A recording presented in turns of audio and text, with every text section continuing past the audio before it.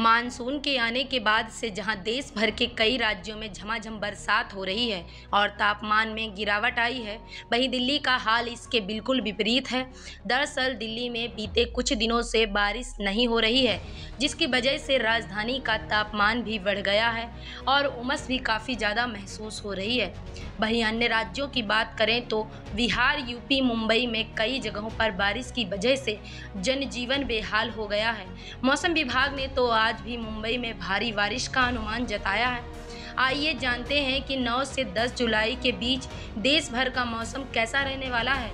UP Bihar में monsoon कुछ ज़्यादा ही मेहरबान है, जिसकी वजह से दोनों ही राज्यों के कुछ इलाकों में बाढ़ का खतरा मंडराने लगा है। मौसम विभाग ने 9 से 12 जुलाई तक बिहार में भारी बारिश का अलर्ट जारी किया है।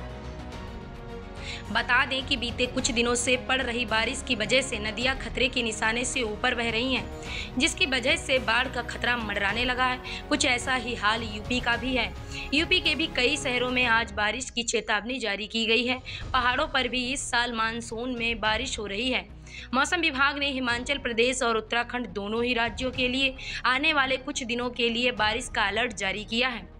मौसम विभाग के अनुसार हिमाचल प्रदेश में 10 से 12 जुलाई और उत्तराखंड में 9 से 12 जुलाई के बीच बारिश हो सकती है।